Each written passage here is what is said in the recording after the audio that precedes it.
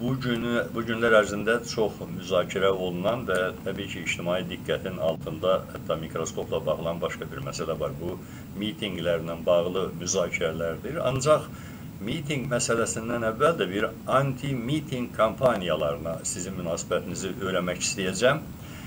E, açığı sir deyil ki, mitinqlərin gözdən salınması kampaniyasında hökumət də heç vaxt tək olmayıb. Müxalifət düşərgəsindən də zaman-zaman kimlərsə hər dəfə mitinqlərin gözdən salınmasında, adamlarda inamsızlıq yaradılmasında iştirak eləyiblər. Ya həvəslə, ya həvəssiz, onu mən deyə bilmərəm.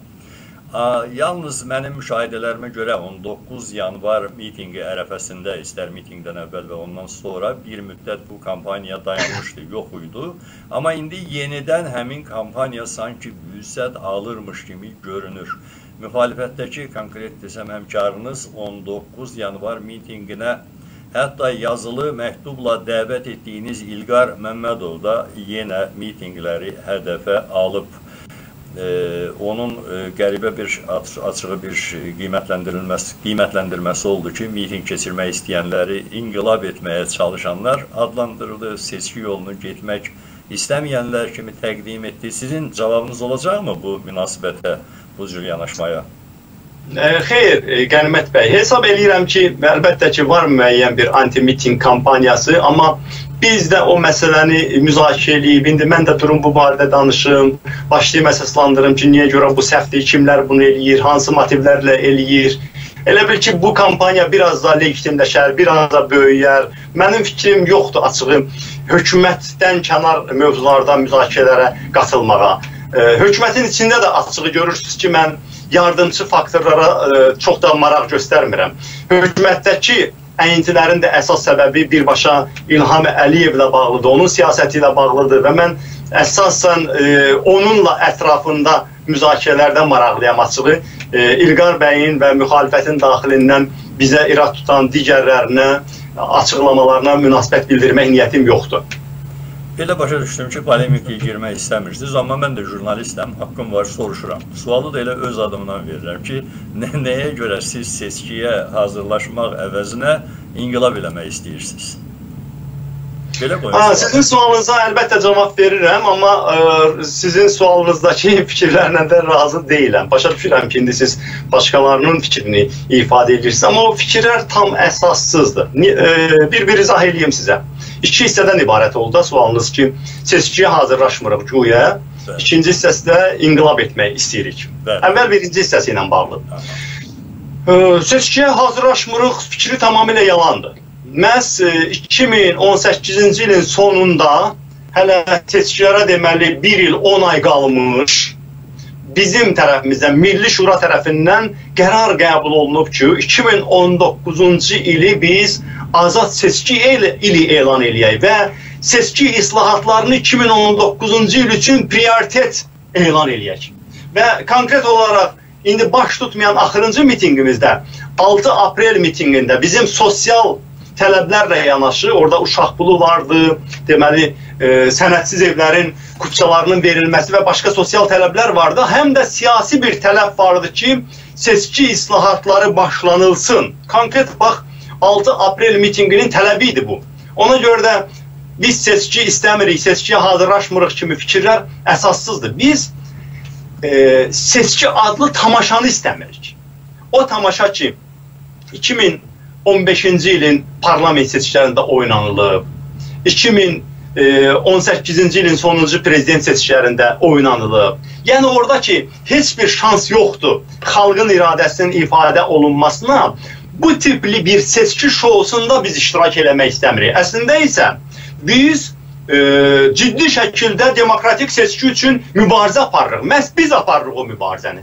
Və açığı bir sıra hallarda da biz seçkilərdə iştirak etmişik, həm də kifayət qədər uğurla iştirak etmişik. Qələbəmizi burada təsdiq etdirə bilməyəndə Avropa İnsan Haqları Məhkəməsində təsdiq etdirmişik. Ona görə də biz seçkidən kənar hər hansı yolla hakimiyyətə gəlməyi mümkün saymırıq Amma hesab edirik ki, bunun üçün biz normal seçkidə iştirak etməliyik. Bizim hal-hazırda elədiyimiz o seçki mühitini yaratmaq üçündür. Baxın, seçki bircə günlük məsələ deyil ki, təyin olundu, qutular qoyuldu, adamlar gəlib səs verdi və seçki o gündən ibarət deyil ki, seçkinin əvvəlində böyük bir kampaniya dövrü olmalıdır. Mitinqlərsiz, yürüşlərsiz, azad debat imkanları olmadan necə bir seçki ola bilər? Ona görə də məsələn bu günləri bizim sərbəst toplaşma azadlığı uğrunda apardığımız mübarizə də əslində seçkiyə hazırlıqdır.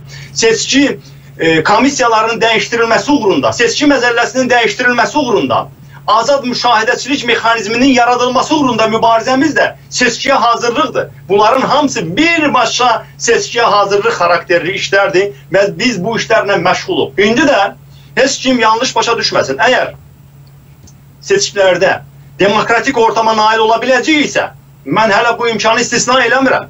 Biz ola bilsin ki, daxili və beynəlxalq təzyiqlərlə o imkanı yaradacağıq ki, seçki mühiti dəyişsin, seçki komissiyaları dəyişsin, seçki məcəlləsi dəyişsin, heç olmasa yarım azad seçki imkanı olsun, o halda seçkilərə iştirak edəcəyik, qalib də gələcəyik.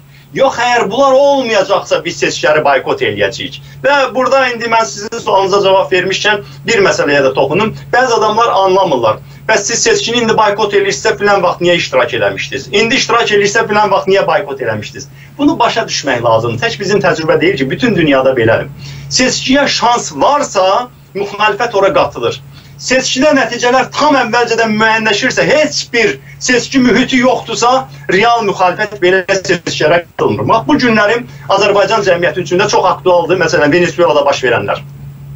Məsələn, Venezuelada həmin bu Maduro seçki ilə gəlib hakimiyyətə. Müxalifət həmin seçkiyə qatılıb və cəmi 49%, 1% səslə uduzub həmin seçkini. Seçki mühiti var idi həmin Venezuelada. Sonra parlament seçkilərinə gedib və parlamenti udub hətta. Ama sonra Maduro bütün mexanizmləri keçirdi əlinə və azad seçki mühitini aradan qaldırıb deyib indi də gedirik təzə prezident seçkisinə. O zaman müxalifət o seçkiyə getmədi. Yəni o hər bir ölkədə konkret baxılır ki, onun nəticələri sual altında olacaqsa seçkinin, mübarizədən asılı olacaqsa nəticələr, o seçkiyə qatılarlar. Yox, seçkinin nəticələri əvvəlcədən bilinirsə, o bizlik deyil. Ona görə də sualınızın birinci hissəsinə cavab verdim. İkinci hissəsi ilə bağlı. Yenə də yanlış var Qənimət bəy. Bir partiya, bir şəxs heç zaman hətta istəsə də inqilab eləyə bilməz. Biz heç zaman demədik ki, Xalq Cəbhəsi, Milli Şura, Əli Kərimli ya başqa bir adam inqilab eləyəcək. Heç şey olmaz. Onu inqilabları, dinc inqilabları da o cümlədən eləyən xalq olur. Və biz əksinə Azərbaycan hakimiyyətini xəbərdar eləyirik ki, vəziyyəti o həddə gətirib çıxarmasın ki, başqa bir çox ölkələrdə olduğu kimi xalqın başqa bir seçənəyi qalmasın.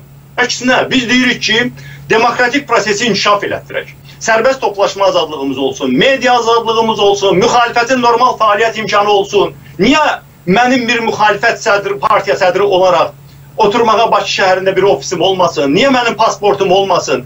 İndi tutaq ki, iki müavinim azadlığa çıxıb, amma Niyə görə Xalq Cəbhəsinin 9 nəfər siyasi məhbusu olsun? Ölkədə ümumiyyətlə 70-80 nəfər siyasi məhbus olsun.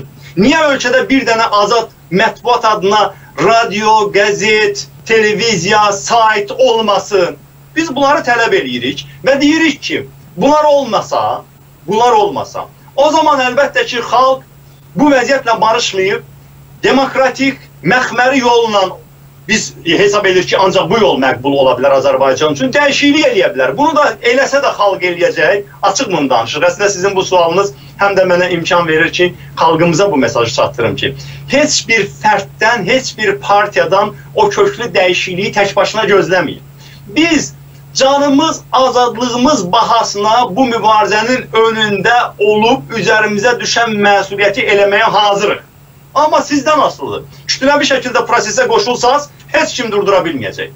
Kütləvi şəkildə bu dəyişiklikləri istəməsəz, o zaman bir partiyanın, bir hərəkatın, birliyin, bir neçə min fəalı hansı fədakarlığı eləsə də bir milləti xilas edə bilməz. Ona görə də bu barədə də mən sualınıza bu şəkildə cavab vermiş oldum.